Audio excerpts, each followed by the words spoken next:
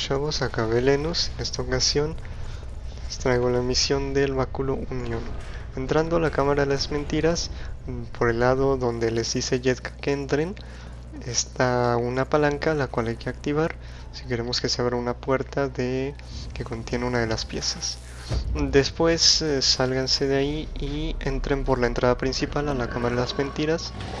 Este, allí mm, una pieza está en la en un cuarto lleno de arañas. Eh, es una puerta que de hecho se abre con runas. La encontrarán en cuanto la vean. Y, ahí hay una pieza. La segunda pieza está del lado izquierdo de la entrada de la cámara de las mentiras. Está como en un cuarto medio oculto. Y una vez que tomen las dos piezas, tienen que subir al segundo piso arriba del cuarto de las arañas y habrá una reja muy peculiar. Una vez que esté enfrente de esa reja, basta con equiparse la cabeza de báculo, que es una pieza del mismo báculo, y la puerta se abrirá.